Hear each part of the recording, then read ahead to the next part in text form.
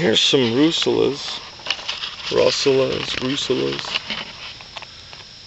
I don't believe these are edible. I don't mess with the russulas too much because uh, there's just a lot of different kinds and I don't know. They just don't appear to have the texture of uh, good mushroom to me. But then again, you know, people do eat them, certain ones. This may be Russula uh, emetica. But then again, it could be some other. But the easy way to tell russulas is just by breaking the stem itself. Well, well, mm, that one's a that one's a little bit bug eaten. That didn't work like I hoped it would. Usually you break it, it kind of breaks like a piece of chalk. Oh yeah, these ones are all bug eaten. Oh well. Flip this one back over so I can send out any more spores if it has them. That's probably all spored out by now though. They're all crumbly and bug eaten. Well anyway, there's a Russula. here's a younger one. Let's see. I don't want to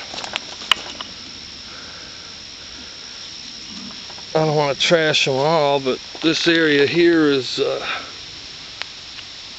full of these things actually. Lots of red Russulas in this woods. They usually have uh, white, whitish, white to cream colored gills, and I think they also have a white to cream colored spore print. but they have a lot of different color caps anywhere from green uh, I believe purple black uh, tan a lot of different colors red obviously let's see, these mosquitoes are bad yeah see there when they're fresh, that stem will break just like a piece of chalk. Like a somewhat soft piece of chalk, you know. But it breaks just like chalk right in half and it, it almost has that snap when you break it just like chalk.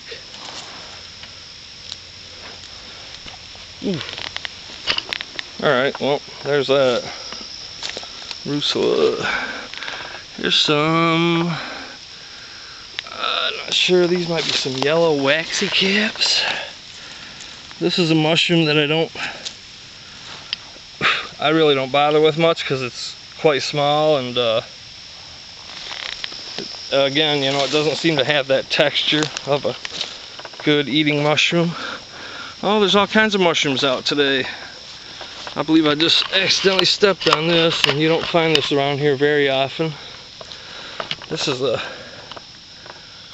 a purple form of coral mushroom. Um, the name slips me offhand. I have my Audubon book with me, but the bugs are so terrible I kind of have to keep moving or else I just get ate up. I'm wearing gloves and long sleeve shirt and pants and uh, I got a bug net, but the only problem with the bug net when you're hunting mushrooms, for me anyway, is uh, it tends to block my vision and I end up missing a lot of mushrooms. A lot of times they blend in.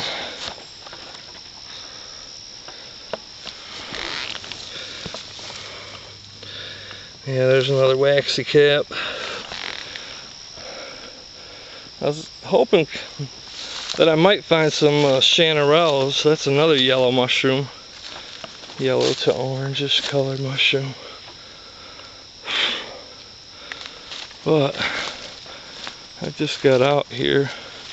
There's mushrooms everywhere right now because we've had a lot of rain, but uh,